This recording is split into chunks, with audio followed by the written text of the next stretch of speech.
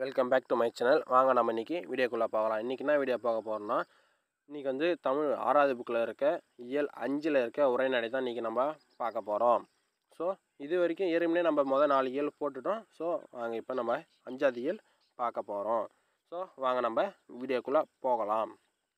First question இயற்கையோடு இணைந்து வாழ்வதே டேஷ் வாழ்க்கை முறை. தமிழரின் வாழ்க்கை முறை. கதிரவனுக்கு நன்றி கூறி சிறப்பு செய்யும் விழா பொங்கல் விழா. இது வந்து தலைப்பு என்னன்னா தமிழரின் பெரு விழா. ஸோ இந்த தலைப்பு தான் நான் தலைப்பு சொல்லாமே உள்ளே வந்துட்டேன். சரி ஓகேங்களா சரி வாங்க. அதுக்கடுத்து மூணாவது கொஷின் உழவர்கள் டேஷ் திங்களில் விதைத்து டேஷ் திங்களில் அறுவடை செய்வர். உழவர்கள் ஆடி திங்களில் விதைத்து தை திங்களில் அறுவடை செய்வர். டேஷ் திங்கள் முதல் நாளில் பொங்கலிட்டு வழிபடுவர். தை திங்கள் முதல் நாளில் பொங்கலிட்டு வழிபடுவர். தமிழர் திரு தமிழர் திருநாள் என்று போற்றப்படும் விழா பொங்கல் பண்டிகை. போற்றப்படும் விழா பொங்கல் பண்டிகை. அறுவடை திருநாள் என்று போற்றப்படும் விழா பொங்கல் பண்டிகை. உழவர் திருநாள் என்று போற்றப்படும் விழா பொங்கல் பண்டிகை.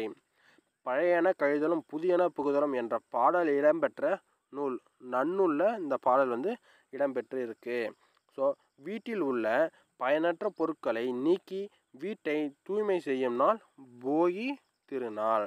மார்கழி மாதத்தின் இறுதி நாள் கொண்டாடப்படும் விழா போகி திருநாள். வாழ்க்கைக்கு வளம் தரும் மலைக்கடவுளை வழிபடும் பண்டிகை இந்திர விழா. இந்த இந்திர விழாவுக்கு இன்னொரு பேர் தான் வந்து போகி பண்டிகை. ஸோ ஓகேங்களா? நெக்ஸ்ட் கொஷின் பொங்கல் என்பதன் பொருள். பொங்கல் என்பதன் பொருள். பொங்கி பெருகி வருவது. ஸோ அடுத்த கொஷின் தை முதல் நாள். திருவள்ளுவர் ஆண்டு. நல்லா ஞாபகம் தை முதல் நாள் வந்து திருவள்ளுவர் ஆண்டு. தை இரண்டாம் நாள் தான் வந்து திருவள்ளுவர் நாள். முதல் நாள் திருவள்ளுவருடைய ஆண்டு. ரெண்டாம் நாள் திருவள்ளுவருடைய நாள். ஸோ அதுக்கடுத்து. பொங்கலுக்கு அடுத்த நாள் மாட்டு பொங்கல். ஸோ அடுத்த கொஷின் மாடு என்னும் சொல்லுக்கு பொருள். செல்வம். உழவுக்கும் உழவருக்கும் உற்ற துணையாக டேஷ் விளங்குகிறது. மாடுகள். உழவருக்கும் உழவனுக்கும் உற்றா துணையாக விளங்குவது மாடுகள். திருவள்ளுவர் பிறந்த ஆண்டு கிமு முப்பத்தி ஒன்று மஞ்சு விரட்டு என்பதற்கு மஞ்சு விரட்டு என்பது மாடுகள் அடக்கி தழுவும் வீர விளையாட்டு. ஸோ அதுக்கப்புறம் மஞ்சு விரட்டின் வேறு பெயர்கள். மஞ்சு விரட்டுக்கு வேறு என்னென்ன பேர் இருக்குது எல்லாருக்கும் தெரிஞ்ச காமனான ஒரே மிகப்பெரிய கொஷின்ஸ் இதுவும் தான் ஒன்று அதாவது மாடு பிடித்தல் ஜல்லிக்கட்டு ஏறுதழுதல் ஸோ இந்த கொஷின் யாருக்கும் தெரியாமலாம் இருக்காது எல்லாருக்குமே தெரியும். ஸோ வாங்க நெக்ஸ்ட் கொஷின் போகலாம். இருபதாவது கொஷின் மாட்டு பொங்கலுக்கு அடுத்த நாள் காணும் பொங்கல். காணும் பொங்கலுடைய சிறப்புக்கள். உற்றார் உறவினர். மற்றும் நண்பர்கள் வீட்டுக்கு சென்று மகிழ மகிழ்வார். முதல் பாயிண்ட் அதுக்கு அடுத்த பாயிண்ட் குடும்பத்துடன் விரும்பிய இடம் சென்று மகிழ்தல். ரெண்டாவது பாயிண்ட் மூணாவது பாயிண்ட் பட்டிமன்றம் நிகழ்ச்சிகளை நடத்துவர். ஓகேங்களா? நாலாவது பாயிண்ட் விளையாட்டு போட்டிகள் நடத்தி வெற்றி பெற்றவர்களுக்கு பரிசுகளை வழங்குவார். இது எல்லாமே காணும் பொங்கலுடைய ஒரு சிறப்பு. இந்த நாலு பாயிண்ட்டுமே ஸோ அதுக்கு அடுத்த கொஷின் இயற்கை உழைப்பு நன்றி உணர்வு பண்பாடு ஆகியவற்றை போற்றும் விழா பொங்கல் விழா.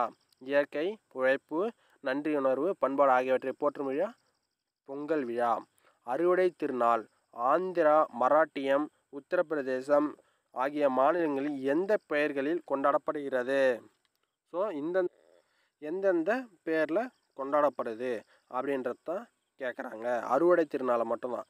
ஸோ இதில் அதாவது ஆந்திரா மராட்டியம் உத்தரப்பிரதேசம். ஸோ இந்த மாவ மாநிலங்கள்லாம் வந்து என்னென்னு கொண்டாட பண்ணுறாங்கன்னா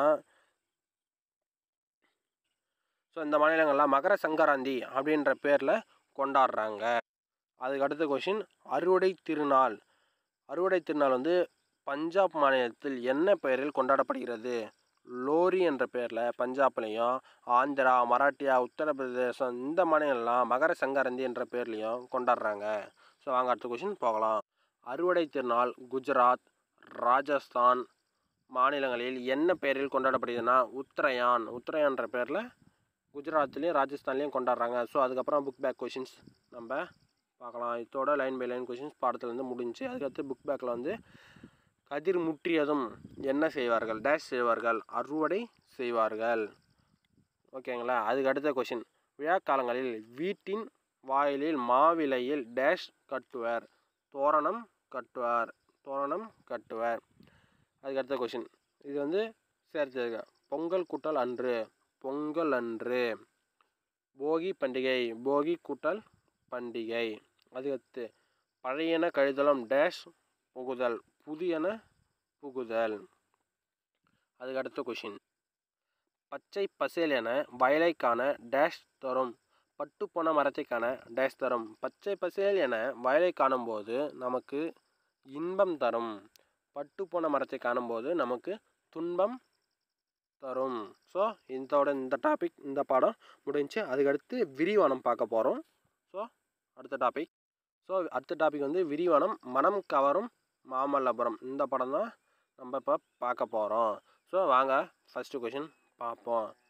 மறுப்பொருளில் சிறந்தவர் யார்? நரசிம்மவர்மர். அதுக்கடுத்த கொஷின் நரசிம்மவர்மரின் சிறப்பு பெயர் மா மல்லன். அதுக்கடுத்த கொஷின் பஞ்ச பாண்டவர் ரதம் எங்கு உள்ளது? மாமல்லபுரத்தில் உள்ளது. நரசிம்மவர்மருடைய காலம் ஏழாம் நூற்றாண்டு. பஞ்ச பாண்டவ ரதம் எங்கு உள்ளது? மாமல்லபுரத்தில் உள்ளது.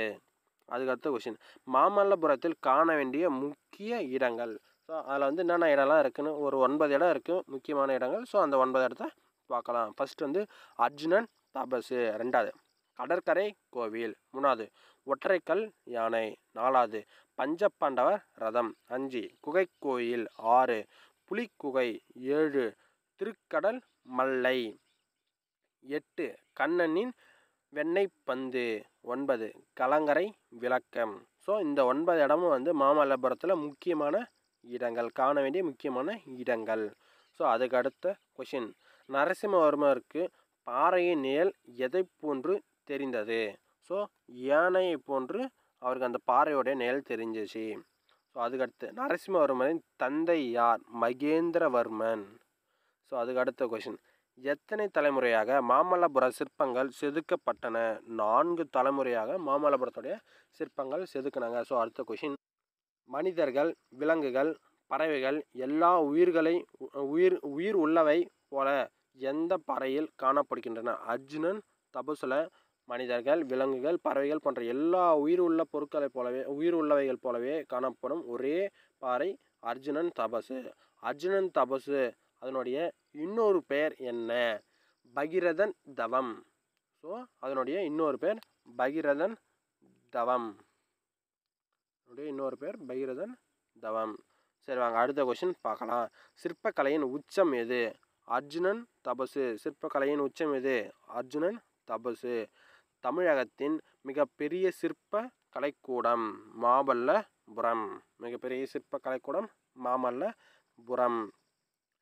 மழைக்காலத்தில் இரு பாறைகளுக்கு நடுவே நீர் விழுவது எதை போன்று உள்ளது? ஆகாயகங்கை வருவது போன்று உள்ளது. சிற்பக்கலை வடிவங்கள் நான்கு வகைப்படும். மொத்தம் வந்து சிற்பக்கலை வடிவம் நான்கு வகைப்படும். அது என்னென்னு ஒன்று ஒன்றா பார்க்கலாம் வாங்க. ஒன்று குடைவரை கோவில். ரெண்டு ஒற்றைக்கல் கோயில். மூணு கட்டுமான கோயில். நாலு புடைப்பு சிற்பங்கள். ஸோ இது எல்லாமே ஒரே இடத்த மட்டும்தான் இருக்குது அது வந்து மாமல்லபுரத்தில் மட்டும்தான் இருக்குது வேறு எங்கேயும் இல்லை. ஸோ அடுத்த கொஷின் போகலாம். மாமல்ல மாமல்லபுரம் தற்போது என்னவென்று அழைக்கப்படுகிறது? தற்போது இப்போ என்னன்னா மகாபலிபுரம் என்ற பெயரில் மாமல்லபுரம் அழைக்கப்படுகிறது. ஸோ இந்த வீடியோ உங்களுக்கு பிடிச்சிருந்தா லைக் பண்ணுங்கள் ஷேர் பண்ணுங்கள் கமெண்ட் பண்ணுங்கள் ஸோ அடுத்த வீடியோ உங்களுக்கு கூடிய விரைவில் இயல் ஏழு வந்து சீக்கிரமாக உங்களுக்கு அப்டேட் ஆகிடும்